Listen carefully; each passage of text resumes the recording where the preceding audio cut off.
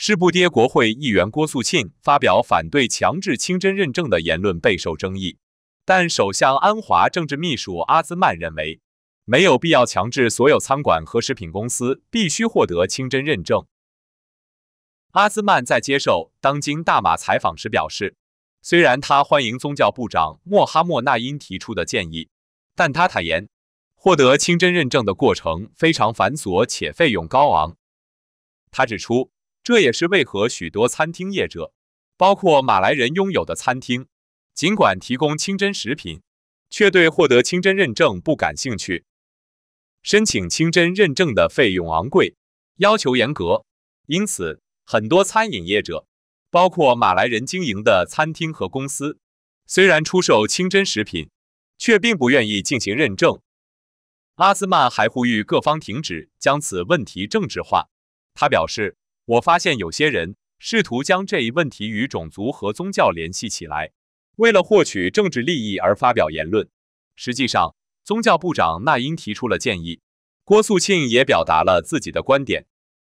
他进一步解释了清真认证与提供清真食品之间的区别。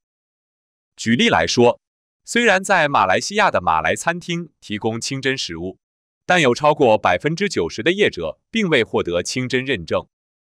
作为一位前餐厅业者，阿兹曼对这一问题有较深的了解。他呼吁所有在野党及政治人物停止将此事演变成政治课题。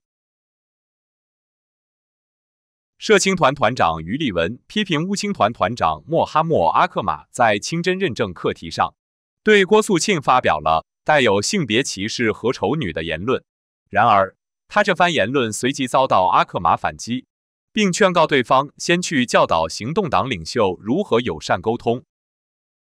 于立文在昨日的声明中表示，尽管郭素庆反对强制申请清真认证，阿克马应通过证据和事实进行反驳，而不是进行人身攻击。他强调，阿克马的言论不仅显露出性别歧视和丑女的倾向，而且非常无理。这种行为对民众，尤其是对我国的青年来说，是一个不良示范。于立文还提醒阿克马，郭素庆是一位资深的议员，自一九九九年以来担任了六届国会议员。他认为郭素庆提出的只是选民的担忧，即使不同意他的观点，也应通过事实与证据进行理性讨论，而不是贬低他的地位。领袖们将在内阁讨论这一重要课题，因此不应炒作或政治化此事。如果对某项政策有不同看法，应通过成熟的方式进行讨论，而不是贬低年长者。他还建议，政治应以成熟和建设性的方式进行，以树立良好的社会榜样，特别是对青年。他认为，作为国家领袖，应该建立沟通桥梁，说明问题，而不是制造分裂。对此，阿克马通过脸书回应。提醒于立文去了解是谁首先挑起了这一课题，并建议他教导行动党的领袖们应有礼貌，不要插手伊斯兰事务或挑战伊斯兰议题。阿克马表示：“我们可以与任何人友好相处，并且善待那些友善的人。”他还补充道：“但如果你没有品格，就让我们来告诉你什么是真正的无礼。”警方已接获二十八宗针对郭素庆发表的清真认证言论相关投报，并计划于今早十时在五级阿曼刑事调查局特别调查小组 （USJT） 办公室传召郭素庆进行问话。对此，郭素庆表示，尽管他认为自己在此次争议事件中并无过错，但他将按计划前往警局录取口供。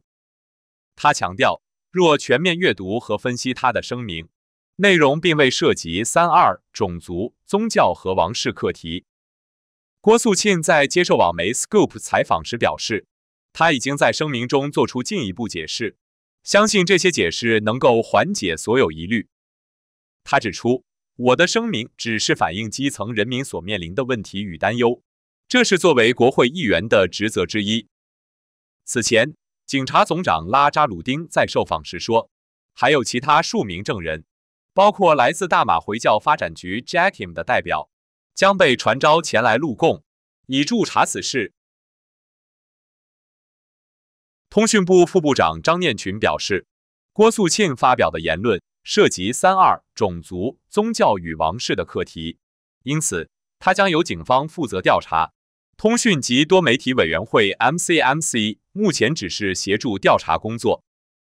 张念群昨日在半山八 POS Shop 便利店主持推介活动后接受采访时，不便对此多做回应。他进一步补充，通讯部将根据需要全力配合警方的调查，以确保所有相关问题得到妥善处理。张念群还强调。行动党在此事上的立场应以行动党秘书长陆兆福的公开回应为准。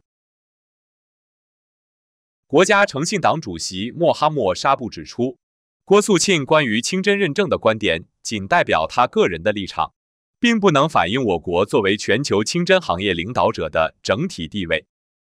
他表示，郭素庆的看法只是他个人的意见，类似的问题每周都会出现。但最终都会随着时间的推移而消失。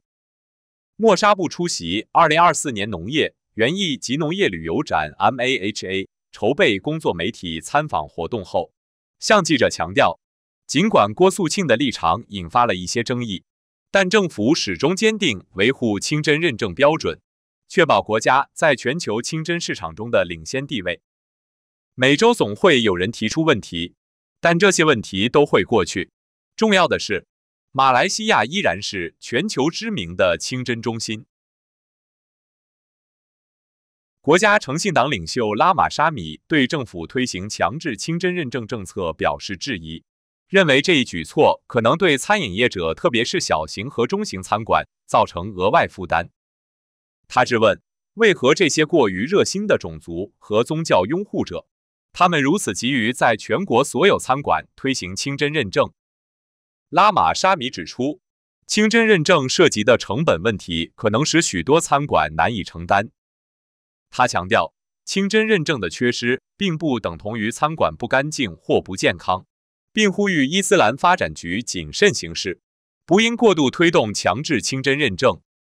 他说，考虑到成本，清真认证应该是自愿的，不能给非马来餐馆和中小型马来餐馆增加经济负担。此外，拉玛沙米抨击了首相安华对郭素庆言论的反应，指责其在宗教问题上玩弄政治，并呼吁安华阐明团结政府的立场。他表示，强制非穆斯林餐馆取得清真认证是不可接受的，并支持郭素庆继续发表意见，不应被外界压力所吓倒。